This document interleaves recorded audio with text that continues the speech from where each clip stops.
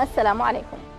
القضية اليمنية تحضر مجددا على طاولة مجلس الأمن. هذه المرة يتعلق الأمر بالموانئ اليمنية وميناء الحديدة على وجه الخصوص.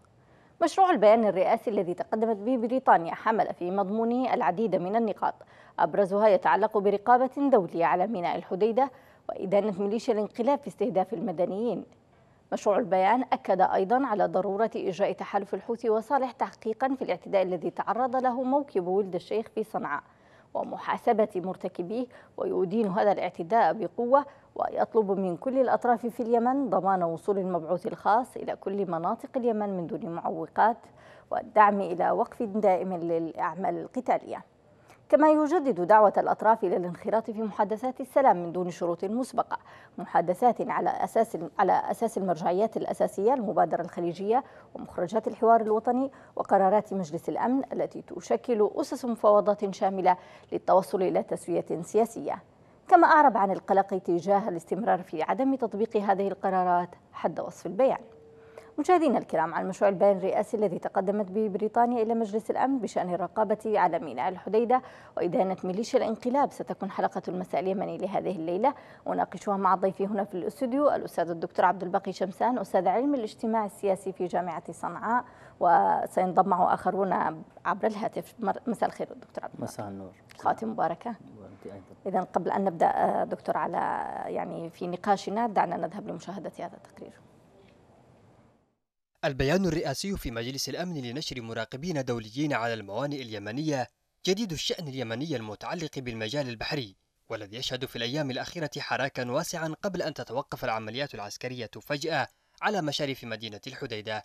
بريطانيا طرحت مشروع بيان رئاسي على مجلس الأمن قائما على فكرة نشر مراقبين دوليين في الموانئ اليمنية والحديدة على وجه التحديد وكذا فتح مطار صنعاء أمام الرحلات المدنية والتجارية لأغراض إنسانية.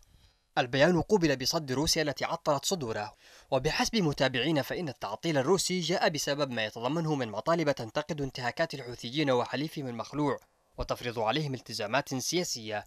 جاء الاعتراض الروسي على فقرة في مشروع البيان تدعو الحوثيين وأنصار الرئيس المخلوع علي عبد الله صالح إلى وقف إطلاق الصواريخ البالستية على المملكة العربية السعودية وتهديد السكان المدنيين.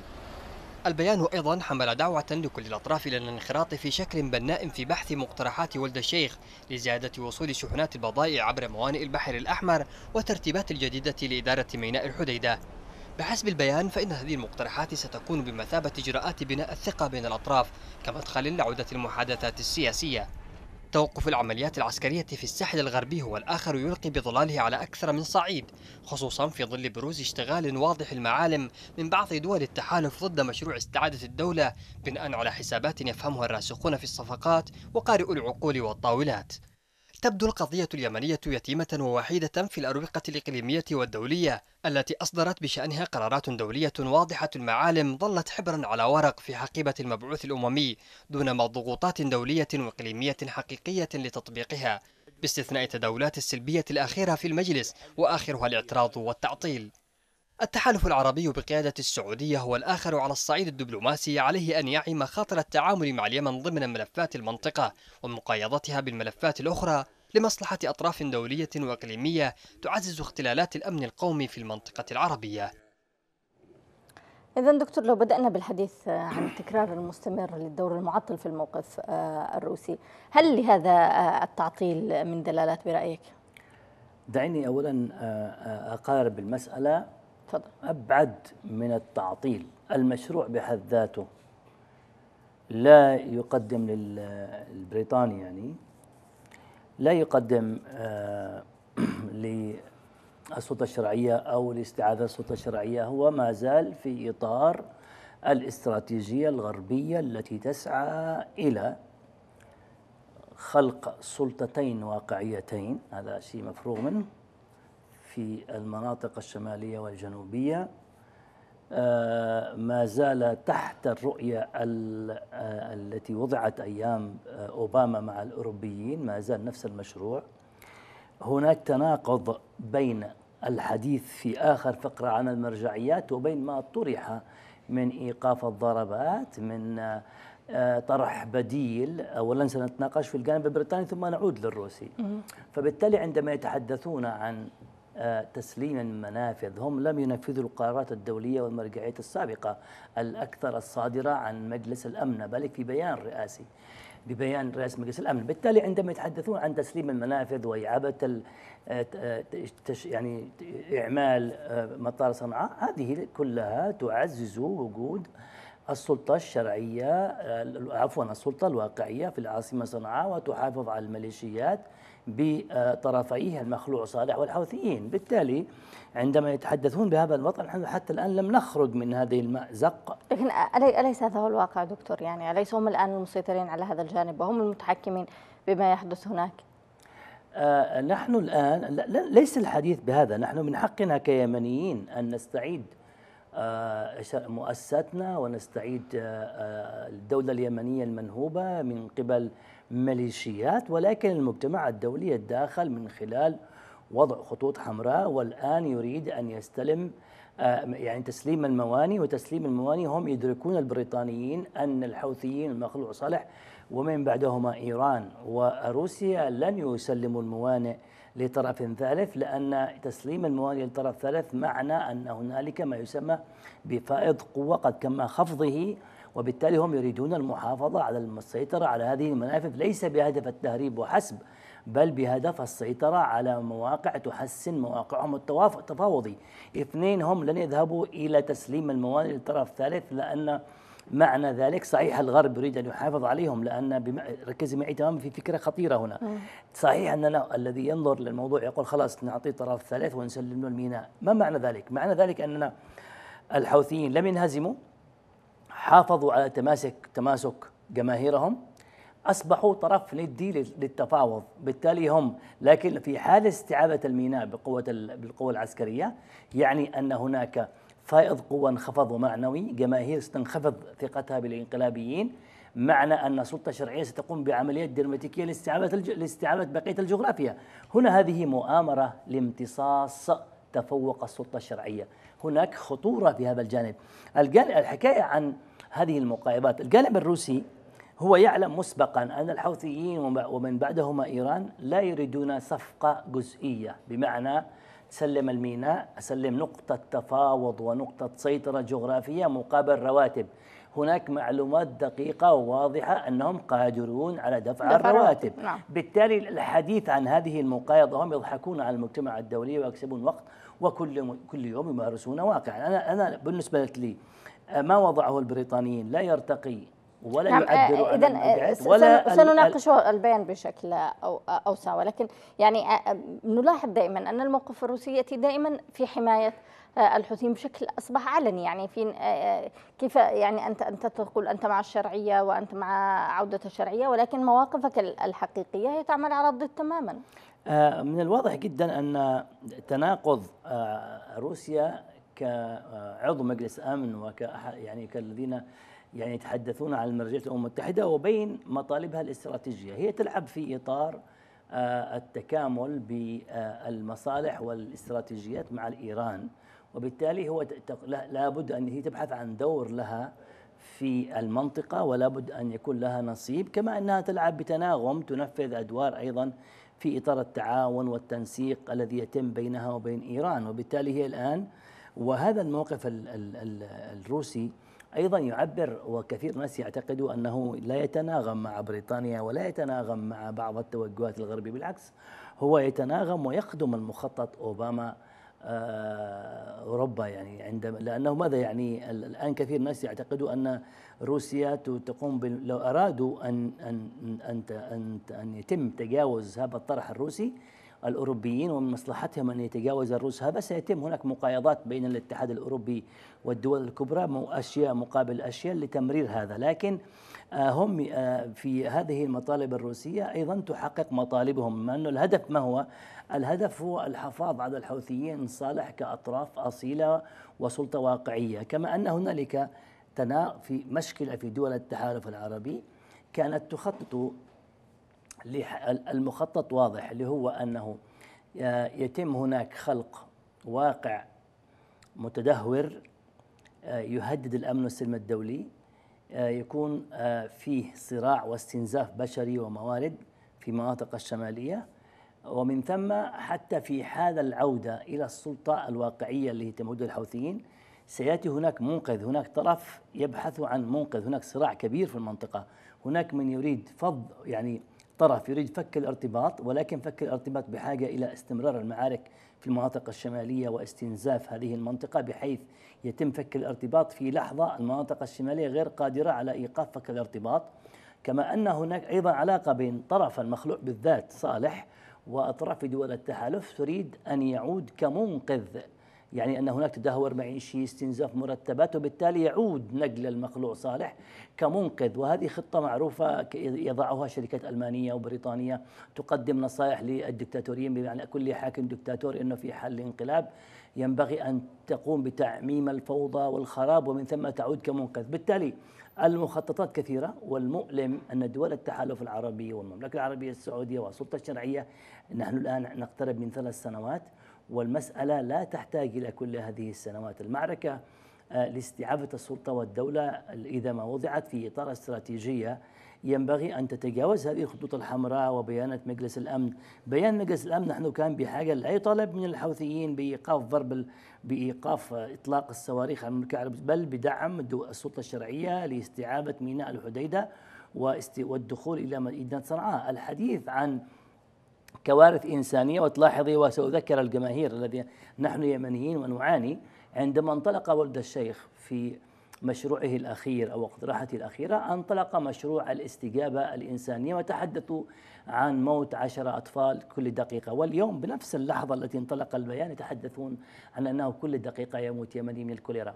يعني هذه التلاعب واستثمار معاناة الشعب اليمني لأجل مصالح غربية. يعني لماذا يتزامن آه، إعلان هذا البيان الرئاسي مع الحديث اليوم مع الأمم المتحدة أن هناك كل دقيقة يموت يمني من الكوليرا؟ ولماذا عندما انطلق مشروع آه، ولد الشيخ عاد إلى المنطقة عاد مع مع مؤتمر الاستجابة اذا هل هناك خلط يعني بين ما هو سياسي وإنساني برأيك؟ هناك استثمار يعني الضغط على السلطة الشرعية وعلى دول التحالف يتم عن طريق تدهور الأحوال المعيشية اليمنية التي هي منهجية كما قلنا في أكثر من لقاء. يعني هي تم التخطيط لها في إيران لإحداث ما يمكن حدوثه في اليمن. وبالتالي أنا أحمل السلطة الشرعية صراحة ودول التحالف.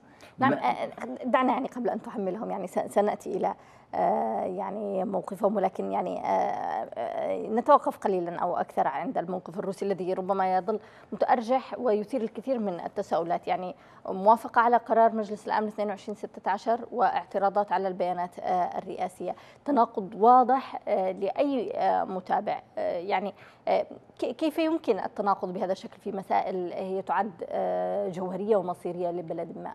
كل الدول الغربية متناقضة بما فيها روسيا. روسيا دورها واضح في تقوم بقتل المدنيين ما علاقة ما تقوم به بسوريا بمواثيق الأمم المتحدة وبحقوق الإنسان ما علاقة قصف المدنيين وقتلهم وجرائم وجرائم حرب تتم بالطائرات وبالصواريخ وبالأسلحة الروسية على أشقائنا في سوريا.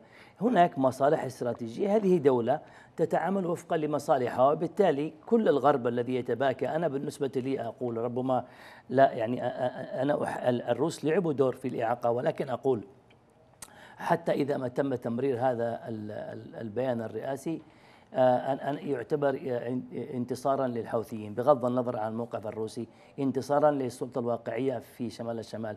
تسليم ميناء الحديدة لطرف ثالث يعني أن السلطة الشرعية أطرف بغض النظر عن الموقف الروسي الذي لا علاقة له بحقوق الإنسان لا علاقة له بالمرجعيات له مصالح ويريد بشكل واضح يريد حصته من الكعكة في المنطقة يريد هو يعتبر أن كان له كان له اليمن الجنوبية كان له حضورا وكان له جزء من هذه الكعكة يريد أن يكون له نصيب. هو الآن لديه قواعد عسكرية واضحة في سوريا يريد أن يكون له وجودا استراتيجيا في هذه المنطقة وبالتالي هو كعضو مجلس الأمن كدولة يريد أن يتم التفاوض معه في حال حل هذه المسألة. وبالتالي هناك الآن يلعب في محور إيران روسيا. هناك لعب محوري في هذه المنطقة ويعيقون ذلك. الملف اليمني والسوري متداخل الملفات متدخلة وروسيا لا يمكن أن تفصل ذلك. بالتالي أنا أقول بغض النظر دعنا نناقش الموضوع بما يخدم الشعب اليمني. أنا أقول حتى هذا البيان نحن لدينا قرار مجلس أمن 2016 ولم ينفذ. هذا البيان لن يضيف شيء وحتى ما تم طرحه مولد الشيخ هي كانت مؤامرة. يعني لماذا ننساق وراء الحديث عن أن مولد الشيخ جاء وأن روسيا عاقت؟ لماذا نبحث عن مشروع آخر؟ هذا مشروع تسليم الميناء كان مؤامرة لإيقاف استعابة ميناء الحديدة.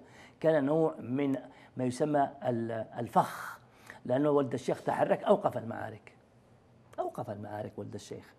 وبالتالي إيقاف المعارك يعني كنا نحن لو أستعدنا ميناء الحديدة كان هي الخطوة الصحيحة. لماذا نذهب بعيدا في أن قرار مجلس الأمن وبيان مجلس الأمن سيعيد السلطة والشرعية حتى الآن لدينا قرارات لدينا آه، يعني من يمتلك ويستطيع أن يغير المعادلة الذي يستطيع أن يحدث فعلا عسكريا في الواقع؟ الحوثيين يدركون بقاء سيطرتهم على ميناء الحديدة. يعني ماذا؟ يعني السيطرة على تدهور الأحوال المعيشية في حال ما في حال ما حتى في حال ما يعني دخول المساعدات الإنسانية ورقة من أوراق الحوثيين ستذهب اللي هي التحكم في تدهور الأحوال المعيشية. وتدهور الأحوال المعيشية وانتشار الكوليرا أحد أدوات الصراع أحد أدوات الصراع. بالتالي قد يستغرب البعض أحد أدوات الصراع في اليمن بقاء الشعب اليمني تحت الموت بالكوليرا بعدم دفع المرتبات بتدهور الأحوال 17 مليون. هذا كله خطة يعني الحوثيون مخلوع صالح وإيران تقتل الشعب اليمني لتحقيق أهدافها هذه محاولة اغتيال وترهيب وممارسة لجرائم حرب ضد الإنسانية ونحن السلطة الشرعية والنخب صامتون أمام قتل منهجي واستثمار غربي لهذا المعاناة بهدف الذهاب لمشاورات لتحقيق استراتيجية غربية.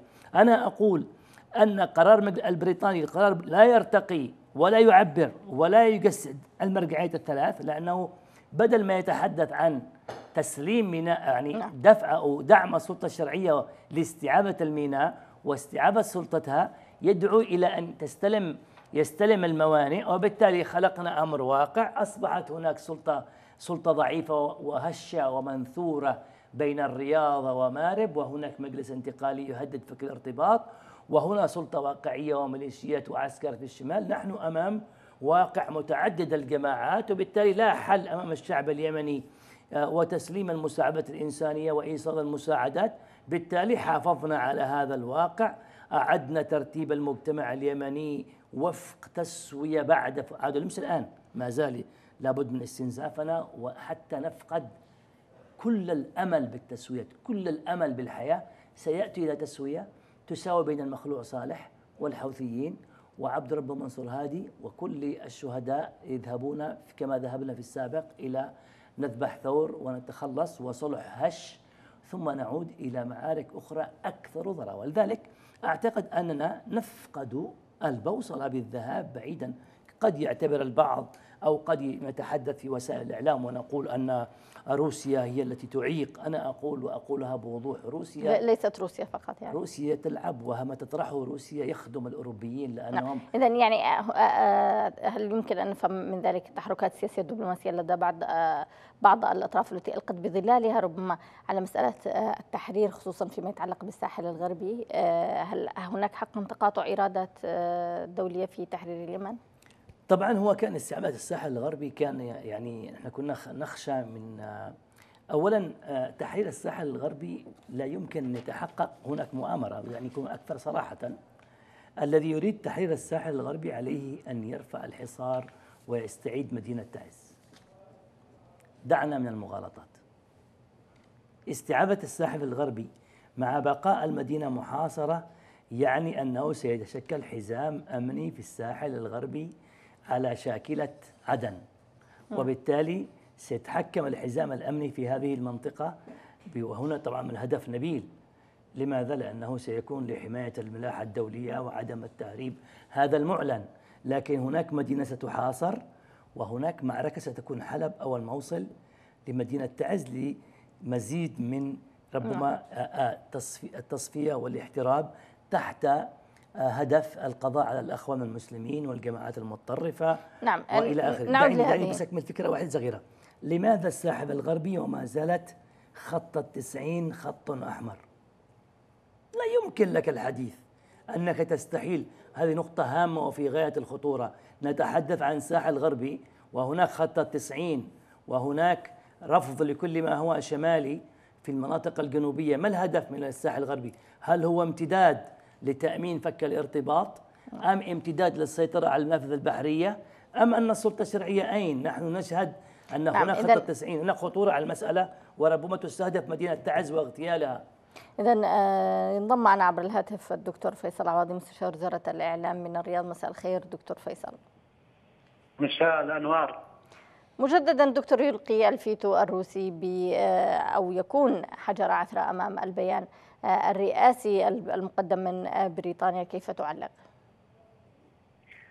طبعا هناك انسداد في الأفق السياسي في كل الاتجاهات ويقول الله تعالى وإخوانهم يمدونهم في الغي هذا هو الموقف الروسي لا يفسر له هكذا هم يمدون الانقلابيين في الغي في الوقت الذي لم يعد هناك رهان على أن الإنقلابيين يحققوا شيء أو ينتصروا فالدائرة لا شك أن تدور عليهم وبعد كل يعني بعد انسداد الأفق السياسي تماما يبقى الخيار الحسم العسكري هو الخيار الوحيد آه، أمام آه، الشرعية والتحالف آه، المساند لها. نعم اذا ما الذي يمكن خشيته من الإشراف الدولي على الموانئ اليمنية دكتور؟ والله إحنا دعينا نستبعد نظرية المؤامرة. إحنا الحكومة الشرعية طالبت باشراف الامم المتحدة على الموانئ في حدود إنه آه، حتكون الحكومة حاضرة في آه، ما يتعلق باستيفاء الموارد فيما يتعلق بمزاوله أمور السيادة على الميناء لكن على الموانئ لكن سيكون هناك يعني إشراف من الامم المتحدة على أساس وقف أي عملية اعتداء على أساس أي نهب لمواد الإغاثة على أساس أي إعاقة لمواد تموينية آه، تدخل من هذه الموانئ لحاجه المواطنين، لن يكون هناك آه، يعني تفريط بالسيادة الكاملة للحكومة على الموانئ. نعم، يعني هل آه، لهذا الأمر علاقة بتوقف العمليات العسكرية في الساحل الغربي تحديدا ميناء الحديدة؟ لا الآن هناك خطط عسكرية مرسومة ونحن ك يعني متابعين سياسيين لا شأن لنا يعني لا نستطيع تقييم الخطط العسكرية أو الموقف العسكري لكن إن شاء الله الخطة في تحرير واستعادة الحديدة كجزء من استعادة الشرعية لم يعني يتم تجاوزها أو القفز عليها لا نعم. تزال هي ضمن استراتيجية الحكومة وإن شاء الله يتحقق. والحرب هي في الأصل كما عبر عنها الكثير من القادة سواء بالتحالف أو بالشرعيه هي حرب إنقاذ اليمن. ليست حرب تدمير ولا حرب تصفية ولا حرب اجتياحات. وهذا هو الذي أحيانا يبطئ من الحسم ويجعل هناك صعوبة. نعم، اذا يعني ما هو موقف الشرعية في حال ما تم التصويت على مثل هذا البيان المقدم من بريطانيا، هل يتناسب معها؟ الموقف الشرعي. لن يكون هناك طريق غير طريق الحسم العسكري لاستعادة يعني سواء المنطقة الغربية أو أي منطقات أخرى أو بقية المناطق التي لا تزال الميليشيات تسيطر عليها. نعم إذا يعني ما هي بدائل الحكومة الشرعية يعني في حال آه، هناك ضغوط دولية واضحة في عدم آه، الحسم آه، العسكري. لم تستطع التمكن من يعني خلال ثلاث سنوات من استعادة الدولة. وأنت تقول لي أن الخيار العسكري هو المتاح لها ولكن هناك رفض واضح من المجتمع الدولي. ما هو الحل؟ لا لا ما فيش رفض واضح، المجتمع الدولي لا زال يؤيد الشرعية وإذا كان المجتمع الدولي عجز أن يعيد الحوثيين أو الإنقلابيين بطرفيهما إلى طاولة المشاورات فلا آه، يمكن أن يقف حجر عثره في سبيل آه، أن الشرعية تستعيد آه، يعني لكن هذا هذا هو الحاصل دكتور يعني تجاوزت المواطنين أليس ذلك هو الحاصل؟ يعني حتى الآن كلما يعني اقترب حسم منطقة ما يحدث تغيير تحدث ضغوطات دولية الخروج ببيانات أليس هذا كله واضح بأن هناك يعني آه، تخوف من آه، استمرار الحسم العسكري؟ لا هناك آه، يعني حرص وتحبيز من العالم على وجود الحل السياسي في اليمن يعني الكل حتى حتى الشرعية هي تنادي بالحل السياسي قبل العسكري نعم. لكن أن هناك من يقف بوضوح ويعني يمارس ضغوط لعدم الحسم العسكري لا أعتقد أنه يوجد نعم اذا يعني آه، في في حال ما كان تم التوافق على مثل هذا البيان هل الشرعية كانت ستوافق عليه؟ آه، كما قلت أنا يعني طالما البيان يعني الاشراف الأممي أو الاشراف الدولي سيضمن عدم وجود خروقات في في مثلا احتياج مواد الإغاثة أو منع المواد والسلع من الدخول إلى الموانئ والوصول إلى المواطنين وتمكين الدولة من الإيرادات التي تمكنها من الوفاء بالتزاماتها تجاه موظفي الدولة بالدرجة الأساسية. نعم إذا شكرا جزيلا لك دكتور فيصل العواضي مستشار وزارة الإعلام. كنت معنا عبر الهاتف من الرياض. اسمح لنا دكتور عبد الباقي أن توسد المشاهدين بالذهاب لهذا الفاصل القصير ثم العودة إليكم.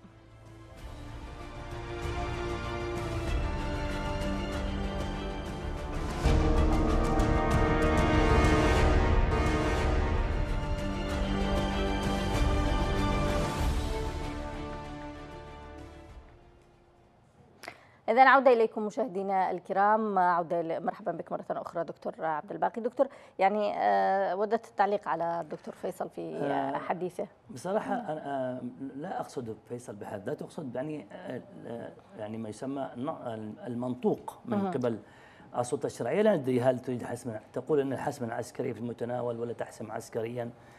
تقول أن علاقتهم مع دول التحالف جيدة وهي غير جيدة. يعني آه، لا تجيب على أسئلة تعز. يعني أكثر آه، من من من من من ضبابية حول الموضوع. نحن نقول عليكم الوضوح. نحن فوضناكم فوضناكم مع الاحتفاظ بحق المساءلة والمحاسبة. لم نفوض السلطة الشرعية عندما فوضناها. التفويض ماذا يعني؟ يعني أفوضك لفترة محددة مع احتفاظي بحق المساءلة والمحاسبة وأيضا إلغاء هذا التفويض. لم نفوضهم على هلاكنا. لم نفوضهم ليقودنا إلى ما نحن عليه الآن. هناك رداءة في الأداء أدت بنا الآن إلى ما نحن عليه واستعابة الدولة والمؤسسات لا تحتاج كل هذا الوقت. الآن لدينا أكثر من من من من إشكال ما طرح اليوم يضعنا نعيد الاعتبار إلى التالي على السلطة الشرعية الآن أن تكون معنا واضحة بما تعانيه بعلاقتها بدول التحالف برؤيتها للمستقبل اليمني لماذا؟ لماذا لا يوجد وضوح يا دكتور؟ لماذا؟ لأنها يعني أولا ليس لديها استراتيجية استعادة الدولة هي الآن تابع لدول التحالف فاقدة الإرادة بالتالي نحن أمام يعني سلطة شرعية شرعية. كنا كان المتوجب أن تكون هي أقوى طرف في المعادلة. حتى دول التحالف تجعلها الطرف اللاعب الرئيس حتى تضعف الانقلابيين. كل ما نشاهده الآن إضعاف. وبالتالي خلقنا مجلس انتقالي في الجنوب وسلطة واقعة في الشمال لصالح من؟ اثنين سلطة شرعية ارتكبت خطأ استراتيجي عندما قامت عينت كل أمناء عمل الأحزاب السياسية مستشار للرئيس وبالتالي قتلنا فاعل في الحقل السياسي للأحزاب السياسية. بالتالي نحن نريد هو من أجل ماذا؟ يقول لحمة. اللحمة تأتي بالاتفاق حول الأهداف وبالتالي هناك فاعل سياسي يلعب في الساحة الدولية ويلعب في الساحة الوطنية للتحشيد وهو منفصل هل هذا السبب يعني بسبب تعيينات ركد عمل الأحزاب؟ أولا التطابق بين السلطة السياسية والأحزاب السياسية أفقدنا لاعب رئيسي. هناك غياب واضح غياب واضح لمؤسسات المجتمع المدني ورموزها وبالتالي تركوا الفراغ للأطراف الناعمة أو الأيادي الناعمة أو الطرف الناعم للإنقلابيين. ليصل إلى مجلس الأمن يلعب دورا دوليا. وبالتالي الرئيس عندما أراد أن يعبر للمجتمع المحلي والإقليمي أن هناك تلاحم كان خطأ استراتيجيا. علينا فك الارتباط بين السلطة الشرعية والأحزاب السياسية. ليكون هناك لعب ونقد وتقديم اقتراحات ولعب دور في الساحة اليمنية. هذا التطابق دمر لنا الحقل السياسي وقتلوا واغتالوا ثم أصبحوا هؤلاء الشركاء يعيقون الدولة من خلال تعيينات أسرية. وامتدادية وإعادة إنتاج الشخصيات. ثالثا غياب المجتمع المدني. التحالف أيضا حتى الآن يعني رغم كل المجهود العسكري ما زال يلعب ب يعني عمليات عسكرية متقطعة رؤية استراتيجية رؤيتين استراتيجيه وربما تكون رؤية أيضا خطيرة على ذلك. عليه أن يعيد استراتيجيته في استعادة النخبة اليمنية. اثنين مدينة تعز أهملت وهي الآن تعد العاصمة أو الرديف لمدينة عدن لأنها تعمل المشروع الوطني. ومدينة لا تحمل فك ارتباط ولا تتحدث عن فك الجنوب أو حق الانفصال عن الشمال لم تكن مأرب يعني حتى وبالتالي علت علينا التمركز سياسيا. مأرب مركز عسكري وسياسي وقاعدة عسكرية للانطلاق نحو صنعاء ولكن ينبغي أن يكون التمركز السياسي والنخبوي وسحب أكبر قدر ممكن من النخب إلى عدن وتعز لتكون قاعدة انطلاق بما فيها نائب رئيس الجمهورية. وبالتالي بقاء مدينة تعز هناك مؤامرة تحت هذا الحصار تحت هذا القصف يعني أن هنالك مشروع فك ارتباط وهناك مشروع تشتيت اليمن يعني وهناك أفهم كلامك دكتور ان نحن أمام مسار جديد للتحالف خاصة بعد ما حدث آه، يعني في البيت الخليجي. أعتقد أننا نظرا لأننا شاهدنا خلال هذا نتمنى أن تكون هذه أزمة عابرة لأننا مرتبطين مع دول التحالف ولكن السلطة الشرعية أتضح للأسف الشديد أننا تابعون. ليس لها موقف مما يحدث وأخذت موقف تموضعت. النخب السياسية اليمنية والخليجية وللأسف الشديد العربية كل نخبة يعني تموضعت وتمدرست مع الطرف الذي يعني يمولها أو تشتغل لديه. كنا بحاجة إلى عقل عقلاني إلى تدخلات عقلانية إلى استقلال قرار. الآن نحن أمام واقع يعني كل نخبة يمنية أو نخبة عربية تموضعت مع الأطراف التي تعمل لديها. يعني غاب العقل آه، آه، ليس لدينا جماعات حرة ونزيهة وتحمل فكر نحن لدينا أتباع. هذا الخطر الشديد الآن على السلطة الشرعية أن في حتى هذه اللحظات الصعبة نحن الآن مصيرنا مربوط بما ستؤول إليه المنطقة. وإذا كانوا كما يقولون أن قطر كانت لاعبا يعني مثلا هي المعيق دعونا نرى الآن ماذا ستعملون وقطر خرجت من من المعترك. ورغم أننا نحن آه، يعني نشيد بالدور القطري ونشيد بما قدمت هذه الدولة التي لم تعد مساحة جغرافية. هذه أصبحت دولة تتجاوز المساحة الجغرافية نحو ما يسمى العالم المفتوح تدير القرار في عالم افتراضي ما يسمى الفعل الافتراضي صناعة القرار الافتراضي في المؤسسة الدولية نحن أمام دولة مهمة. طيب إذا كان هناك خلاف البيت الخليجي عليه أن لا ينعكس بشكل مباشر علينا على السلطة الشرعية ألا تكون تبعا وبنفس الوقت تنتظر حتى يحلون المشكل. ومن صحيح أن هناك عملية عسكرية تتم ما زالت لكن لكن توقفت. يعني من المعروف أن الإمارات مثلا كانت تدعم آه، تحرير الساحل الغربي. الآن توقفت العمليات آه، العسكرية. آه، نشطت مبادرات السلام التي ربما واضحة ويشكلها أو يشكل أغلبها حزب المخلوع كرافعة سياسية. ما هي قراءتك لهذا التحول؟ إذا كان بيكون التدخل الخليجي على شاكلة الحزام الأمني والنخبة الحضرمية لا نريد هذا التدخل إذا كان نحن سنخلق حزام أمني في في الحديدة إحنا قلنا طالبنا أن يكون الجيش الوطني والمقاومة الوطنية على على دول التحالف أن تدعم الآن الجيش اليمني في الداخل والمقاومة الوطنية ونحن نقرر مصيرنا ونحقق المؤسسات التي تدافع عن جغرافيتنا ليس بالضرورة أن يتم إنشاء نخبة حضرمية أو نخبة أو حزام أمني يتبع ما فوق وطني يتلقى مرتباته. صحيح أن هناك شكوك ويضعون أن هناك فساد وأن هناك أسماء وهمية هناك الآن أدوات تكنولوجية يعني متطورة نستطيع الحصر وبالتالي نحن لا نرتكب نفس الخطأ من حيث أننا نستمر في تكوين كيانات تتجاوز الوطن ولا تقوية جماعات عقائدية على حساب ما يسمى القضاء على الأخوان بإيجاد متناقضات سلفيين أخوان اشتراكيين غير اشتراكي نحن بحاجة إلى ما يسمى بإدارة الزمن الانتقالي أثناء المرحلة هذه بحيث يتم استيعاب أن الأخوان المسلمين لا يمكن اكتتاتهم هم جزء من الشعب اليمني جزء من المكونات السياسية. كيف يمكن أن نلتقي مع هذه الجماعات السلفية والإسلامية والإشراكية نحو هدف استعابة الجغرافيا اليمنية والمؤسسات والاتفاق على شكل الدولة بعيدا عن سمحنا للحوثيين للدخول حتى يتم تقليص الأخوان المسلمين ثم دخلوا عمران من عمران إلى صنعاء ثم نريد أن تقصف الجبهة الوطنية الجبهة القومية ثم الطغمة والزمرة. هذا كلام. ثم أصحاب مطلع أصحاب منزل ثم أصحاب الدحابشة. لماذا لا نؤسس لمجتمع يمني يقوم على المواطنة والمساواة وتكافؤ الفرص وأيضا على المكاشفة؟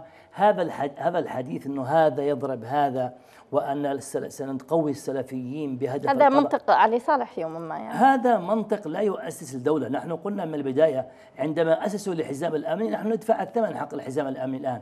عندما يعتقدون أنهم سيستطيعون اجتثاث يعني الأخوان المسلمين تحت مسمى الأخوان المسلمين ك... أنا لست من الأخوان المسلمين لكن ولا أدافع هنا عنه أنا أتحدث بعقلانية ولا ولا وليس تهمه تكون أخوان مسلمين أنا مستقل وعلماني أيضا لكني عندما أحلل هذا الواقع اليمني علينا أن نحلل بما يحقق المصلحة الوطنية والقومية علينا أن نجد نقط مشتركة مع هذه مع هؤلاء الجماعة هؤلاء جزء منا. بالتالي الحديث عن هذا معنا نذهب نحن في تصفيات لبعضنا بعض. نحن أمام سباق مع الزمن. إيران تلعب الآن على هذه اللعبة. حتى الرئيس الأمريكي عندما جاء المنطقة ماذا جاء؟ ونحن تحدثنا هنا. جاء يريد عن ناتو في الشرق الأوسط. سني يواجه إيران. وتصبح إسرائيل حليف. يعني هذا المشروع واضح. إذا الهدف من القضاء على هذه الجماعات يخدم ماذا؟ يخدم القضاء على كل الجماعات المعتدلة بهدف إيجاد يعني نوع إسرائيل تصبح مقبولة آه، يعني في المنطقة العربية كحليف. أن تكون المنطقة آه، هشة وقائمة على ثنائيات سنة وشيعة. وبالتالي دائما نحن من الداخل نعيش توجس الأبناء المناطق الجنوبية في توجس من المناطق الشمالية. نحن متوجسين من اتباع المذهب الزيدي والذين أصبحوا اثنا عشريين وبيننا ثأر. نحن بحاجة إلى مصالحة مع الذاكرة إلى إلى إعابة المواطن اليمني إلى المصالحة بين المذاهب. المذهب حق وخاص ولا نعم. علاقة له في المواطنة. ليس لدينا مطلع ومنزل ولا شنوب جمال. نحن نقوم على المواطنة والدستور والمساواة بما يحقق الصلاح الوطني. لماذا نسقط تسقط السلطة الشرعية في المشاريع الدولية وننتظر قرارا بيان مجلس الأمن حتى يأتي ونكشف الحوثيين؟ يا سلام السلطة الشرعية كشفت على حساب الناطق الرسمي أن الحوثيين مخلوع رفضوا وأنهم آه، يعني قاموا بمحاولة اغتيال. هذا كلام فاضي. نحن عارفين الحوثيين والمخلوع صالح لن يسلموا لا ميناء ولن يسلموا سلاح بالعكس. نحن الآن كلما تأخرنا في استعابة تعز واستعابة بقية المناطق وميناء الحديدة كلما عززنا وجود سلطة هل واقعية هل هناك متقدرة. هل هناك يعني آه، صحيح يعني ما, ما يتم تداوله أن هناك شغل من داخل التحالف لعدم استعادة الدولة لتغيير يعني ما أنشئ له التحالف؟ هنا كان واضح ما تم حتى إعلان المجلس الانتقالي كان يدل أن هنالك مشروع وأنا لا أتحدث هنا عن عن تخيلات. نتحدث عن أن تم استعادة مدينة عدن وتمت إيقاف المعارك في خط التسعين. تم طرد أبناء المناطق الشمالية تحت مبرر أمني وهذا المبرر عام 1954 تم طرد أبناء الشمال أيام حكم الاستعمار البريطاني وقالوا أنهم يثيرون الشغب. تمهيدا لإعلان اتحاد الجنوب العربي يعني نفس الممارسات. تم آه، آه، الدعس أو وضع الأقدام والأحذية على العلم الجمهوري. تم يعني نحن أمام عمليات تم تأسيس نخبة تحت مسمى ما قبل وطني نخبة حضرمية حزام أمن. نحن ليس بحاجة لحزام أمني بحاجة إلى الأمن العام الأمن العام المراكز الأمنية الأمن المركزي نعم. حتى أمن مركزي بنفس المسمى لكن ليس ميليشيات متقدمة للحرس الجمهوري بل أمن مركزي بوظيفته المعلن عنه أمن مركزي ولا نحتاج إلى حزاما أمنيا يستلم مرتبته من الخارج. نحن نحتاج إلى قائد يعينه الرئيس عبد الرب منصور هادي. نحتاج إلى أم حزام أمني يتنفذ ويخضع لأوامر الرئيس الشرعي ورئيس الحكومة. لا نحتاج إلى صراع بين الحرس الرئاسي وأمن المطار نحن بحاجة لاستعادة ميناء عدن وأنا أقول الخطوة الأولى لهذه العمليات استعادة مدينة تعز في هذه المرحلة الانتقالية لإعادة تخطيط أو وضع استراتيجية أمنية استعادة مدينة تعز وعودة الحكومة إلى هذه المدينة بداية لعدم وجود حزام أمني في الساحل الغربي ولاستعادة مدينة عدن التي أصبحت طاردة استعادة مدينة عدن التي أصبحت طاردة لكل ما هو شمالي ولكل ما هو سلطة شرعية كل ما نعم. هو شمالي وكل ما هو سلطة شرعية وهذا خطير. اذا آه، دكتور يرى البعض أن الشرعية والتحالف ينتظران حدوث أي آه، خلاف آه، ينشأ بين طرفي الانقلاب، هل لذلك جدوى برايك؟ والله إذا كانوا يراهنون على هذا فقد سلمنا أمرنا إلى يعني إلى المجهول، يعني نحن لا نراهن على الخلاف، الخلاف قلنا نحن حتى لما عندما يتم التحليل هؤلاء لا يمكن يختلفوا في هذا التوقيت دائما إذا أردنا أن نوصلهم إلى خلاف علينا أن نتقدم باتجاه صعدة أو صنعاء إذا تقدمت القوات سيذهب كل طرف إلى المحافظة على مكانته ليصبح هو طرف التفاوض. وبالتالي قلنا أن المخلوع صالح سيذهب للحفاظ على مدينة صنعاء ليصبح هو الرقم الصعب للتفاوض بخروج آمن أو استمرار منظومته والحوثيين سيحافظون على العاصمة العقائدية والمرجعية الجغرافية والميليشيوية لهم وبالتالي سيحافظون قدر الإمكان البقاء على شاكلة حزب الله في أضعف الإيمان. كحزب الله اللبناني وليس حزب الله اليمني الذي أصبح له دور.